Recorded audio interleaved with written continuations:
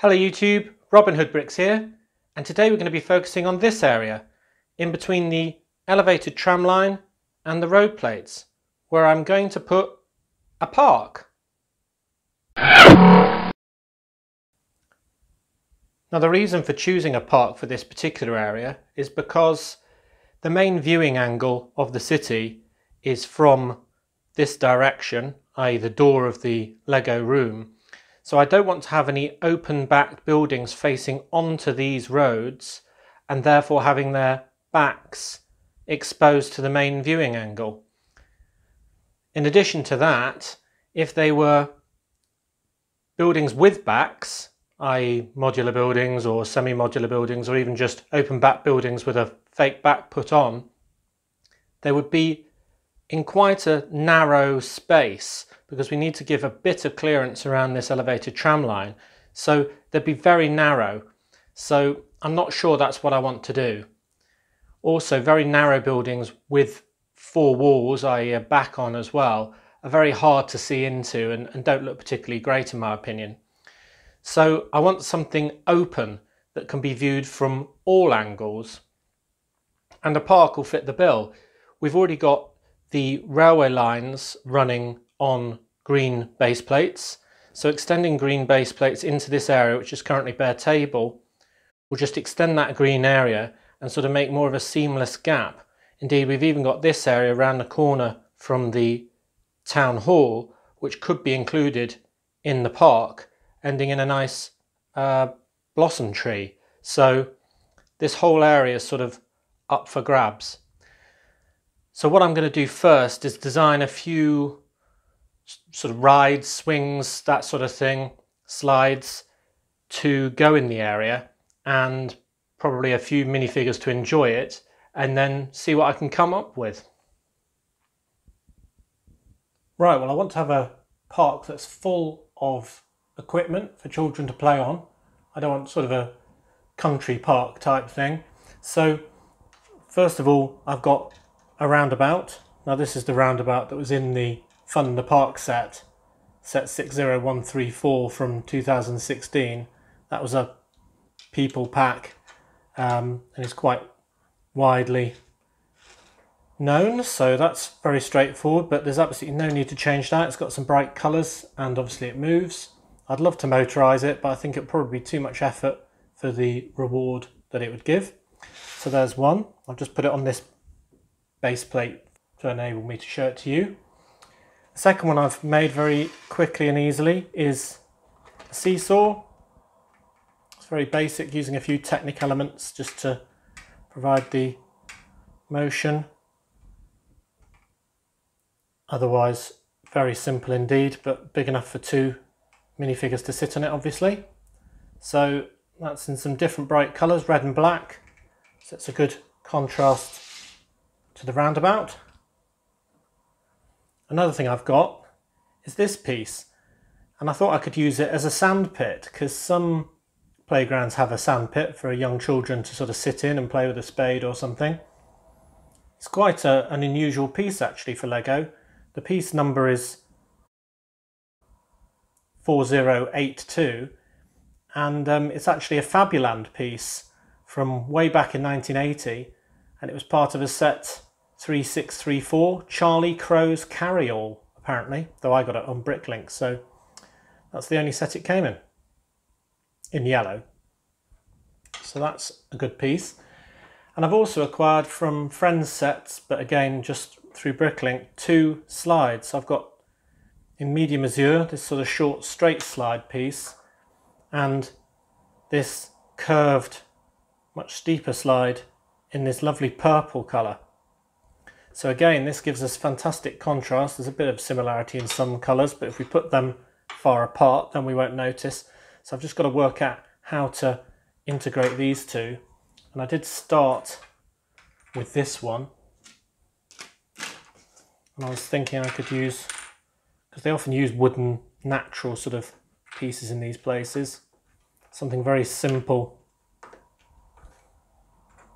I thought I'd use more of these palisade bricks just to make a sort of set of steps up. Quite straightforward. And then to represent a sort of crash mat, these are the only tiles I have in the right colour, spare. So four one by three tiles. But that keeps it quite compact. And I think that looks quite fun and appropriate. You can see what it is. Just to test it. Yep, it works. So I've had a bit of a play and what I've come up with is this. Kind of an adventure playground setup with a rope bridge, some steps and the purple slide. Now I was very keen to use this rope bridge piece because it's a really fantastic old piece somewhere in my city but it's quite hard to get one in an appropriate place in a sort of built up area. So um, I'm really glad that it, it works here. You'll also see it's a slightly different brown, given that it's an old piece. It's actually an old brown rather than reddish brown, but the difference isn't significant. So obviously we've got one step, then a turret, the walkway, another turret, and the slide down. And I've also managed to dig out some purple tiles for a sort of landing area for this slide as well. So let's test this one. Yep, that works too. Excellent. So we're getting quite a few bits of apparatus now. Another one that I did was a set of swings. Now I've seen lots of different designs for these and I quite like the ones that use actual chain pieces for the chains that hold up the swings. But I've decided to go with aerials, which also have a nice swinging action and can sit a, a minifigure on, just because they're a bit smaller really. And I want um, I want everything to fit into quite a tight area, so its its size really does matter. I'm trying to get as much in a smaller space as possible. So this is a really simple structure, another bright colour and some really good shape that's very pleasing there in the yellow arches. So there's that. Also, I thought I'd get some of those fun rides that are kind of an animal on a kind of spring. Now I've used a hinge instead of a spring, but I've made a, a sheep one, kind of a bit of a creator style sort of design, but nonetheless you can sort of tell it's supposed to be a sheep and that would sort of bounce like that with a child on it or an adult who's young at heart. And here's another one, which is kind of a, a rocket, which is a bit similar to the rocket ride we looked at recently, but a lot smaller. And again, sadly, not motorized. So there we go. That's quite a lot. Now, I'm also going to try and do a climbing frame because I think that would be pretty popular with the minifigs. So let's try that. Right, I've had another play, and one colour I think is underrepresented is blue in all of this. Uh, so I use blue for my climbing frame, which is here. So it's quite hard to get the offset right for these, to use these pieces as the climbing structure. I've tried a number of different ideas, but this is the best one that I had the pieces for. So it's really just three columns of uh, modified plates to act as the grabbers to hold on to the four black pieces uh, with bricks and so on just to come to the same height overall. But I think from a distance with a child attached that will look like a good climbing frame. Right, so we've got quite a lot here to be going on with, so I'm going to try and arrange these as best I can to make best use of the space, because I also want to have some seating area for sort of mums and dads, and um, lots of plants and trees and so on. And as I keep saying, it is a very tight area, so I don't know exactly what I'm going to achieve. I might not even be able to fit all of these in, and that would be a shame. So uh, here's hoping. Here we are in the Lego room and the first piece of equipment I was trying to position is the adventure playground and slide but it's already as you can see pretty big and quite hard to fit in this space And then it occurred to me that maybe I could use the fact that this is a half circle slide to actually wrap around one of the posts of the raised tram line. So rather than being all in front, I could have it going around one of the poles, which would also make it quite good fun. Now I'm going to have to adjust how it's connected to this turret because the rest of the piece of equipment is still going to have to go from top to bottom, but that could work well. Right, so I've just basically turned the slide a quarter turn so it comes out the back of that turret and comes back to face us if we're looking at it from the front. So I should now be able to wrap it around one of these posts. Now that's already starting to interfere with this. The tram will hit that if it's even a tiny bit over there. So I can't put it on that one. So I can either remove this post or no, it will go around that one, won't it? So I think that'll work. There we go. So if I position it something like that, you can't see the slide fantastically well from this perspective because it's going down and around there, but I think that might still be the best position for it. I'll continue to investigate. Right, so I've managed to fit it in with the purple slide piece going around the back of the raised tram stanchion. And the slide does work. If I put Robin on it, there we go. Now it's not the easiest to see from all directions, but um, I do think it's about the only way we're going to get this in and it makes amazing use of the space given that it actually goes behind the stanchions uh, rather than entirely in front of it. So I think I'm going to stick with that. It's just a pity that the mirror version of that piece doesn't exist because then I could have put it on this side and had it coming out here uh, and it'd have been a lot more visible from most of the Lego room. And here it is from the back.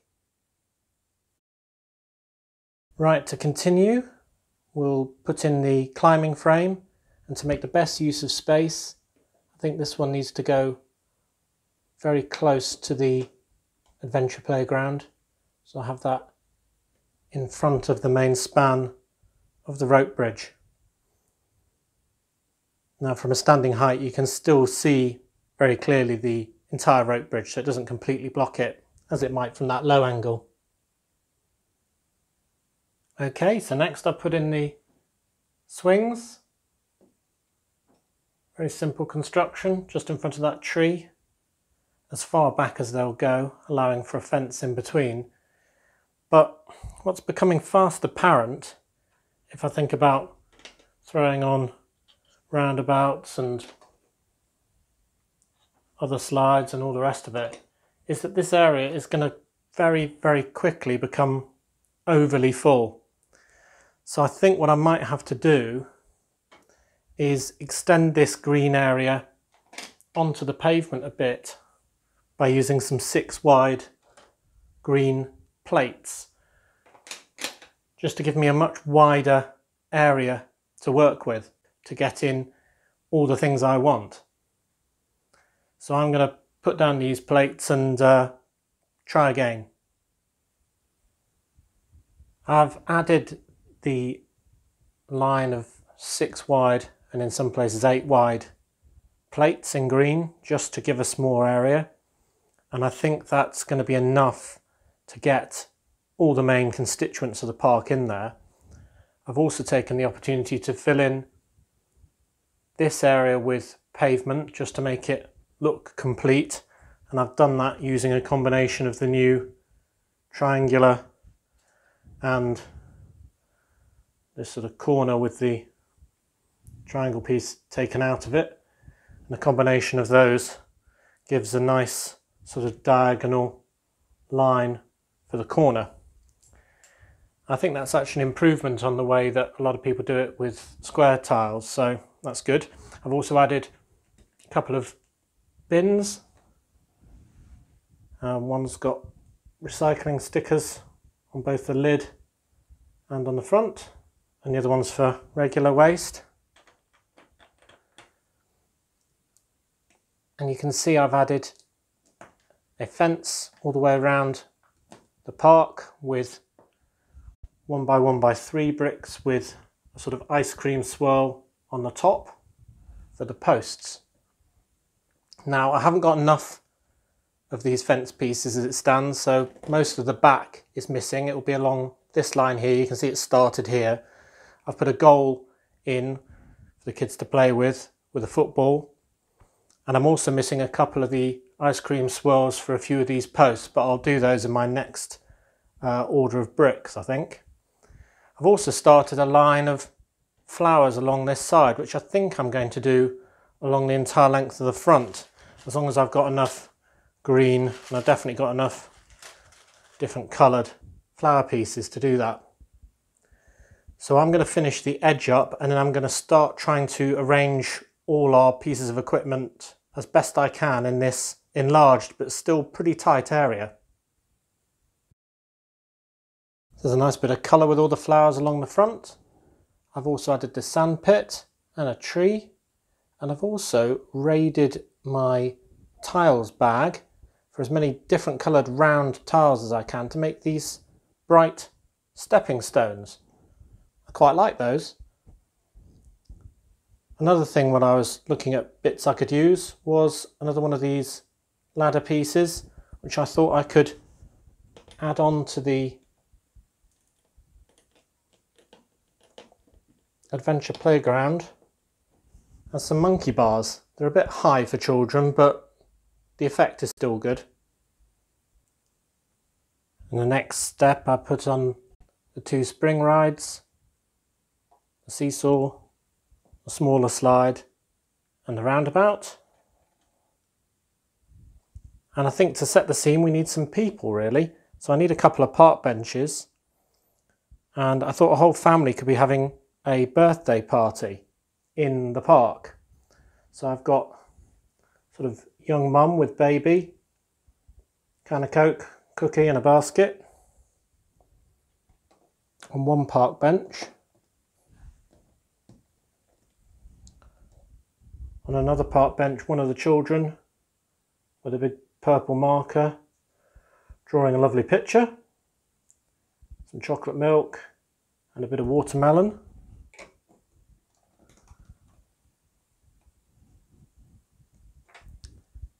and another parent. You'll notice everyone's wearing party hats. I've got a few different coloured ones in recent brick haul and um, I'm having to use just the hair pieces that have got a hole in, which aren't as many as you'd think actually. So I've got a, another parent, as I said, and she's got a push buggy with a different baby in. This is the baby from one of the Christmas sets, but you can get it on Lego bricks and pieces separately if you want that one, it's really cute. It's got a sort of reindeer baby grow on. And the birthday boy himself, who's got a gold hat on, and that's from the series minifigure with the man coming out of the cake. Presents.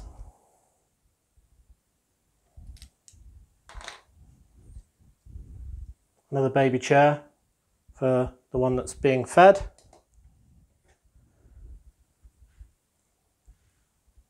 A boy with an orange hat. A girl with a tutu dress on and a purple hat. And then maybe one person who's not part of the party but is still using the park. Right, so I'm going to get the rest of those arranged.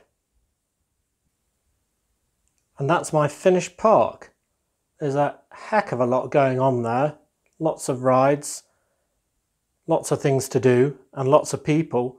I dare say we could probably fit another half a dozen children in this park playing around, but I'll leave it at that for now. It is incredibly crowded in there. You're pretty much falling over one piece of equipment to get to the next one, but as I've said in many of my videos, I like it nice and dense. All these big spaces are, are just a waste in my opinion, so that's very good. There'll be one final touch to add, and it's in a recent haul I got a dog, which is from a Friends set, and I wasn't very sure about it, and I wasn't even sure I was going to include it in my city because it's a bit sort of dewy-eyed and so on. But I realised it also had the hole in the head that can take an attachment. So friend sets, they give them bows and goodness knows what else. But I can give the dog a party hat, which, let's face it, is absolutely hilarious. So that's what's going to happen. And the dog can be joining the rest of the family in the park and somebody's attached a party hat to it. Brilliant.